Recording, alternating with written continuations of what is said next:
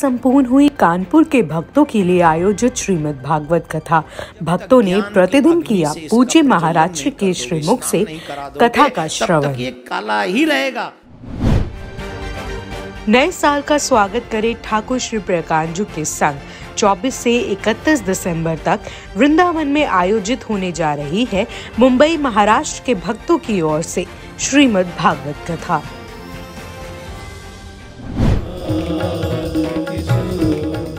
ठाकुर श्री प्रकांजू मंदिर में विश्व शांति सेवा चैरिटेबल ट्रस्ट के तत्वाधान में कानपुर के भक्तों के लिए श्रीमद् भागवत कथा का आयोजन किया गया।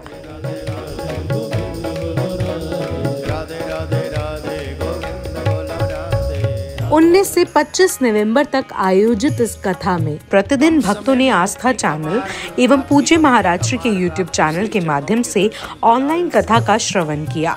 श्रीमद् भागवत कथा के अंतिम दिन पूज्य महाराष्ट्र ने भक्तों को सुदामा चरित्र का वर्णन करवाया एवं सभी भक्तों ने कथा का श्रवण कर पुण्य लाभ प्राप्त किया। साथ ही महाराष्ट्र के श्रीमुख से निकले भजनों पर सभी भक्त झूमते नाचते नज़र आए।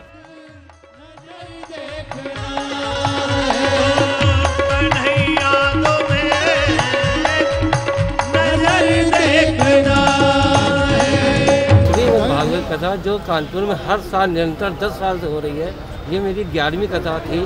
लेकिन इस साल कोरोना काल को देखते हुए तो मैं ये कथा प्रिया कांजू के चरणों में, महाराज जी के सानिध्य में, मैं वृंदावन में करवा रहा हूँ। और यहाँ हमारे कानपुर से भक्त लोग आकर करीबन सत्तर से अस्सी लोग आए थे, जिन्होंने यहाँ प्रिया कांजू के चरणों में कथा कराई। प्रिया कांजू सरकार की असीम कृपा कहेंगे, सदगुरुदेव भगवान का आशीर्वाद। कि इस कोरोना काल में कानपुर वासियों को जो मायूसी मिली हुई थी और सदगुरुदेव भगवान के श्री मुख से कथा श्रवण करने के बाद उस मायूसी को संचार में बदलने का जो काम सदगुरुदेव भगवान ने किया मेरे प्रिया कानपुर सरकार विश्व शांति सेवा समिति कानपुर हम, हमारे मिशन पर ऐसी ही कृपा करते रहें। हम लोग इस 11 साल से गुरु जी की भागवत को सुनते आ रहे हैं।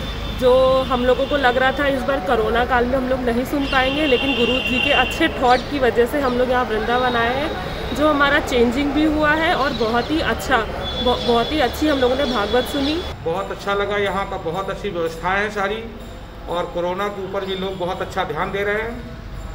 साफ़ सफ़ाई इसमें बहुत अच्छी है।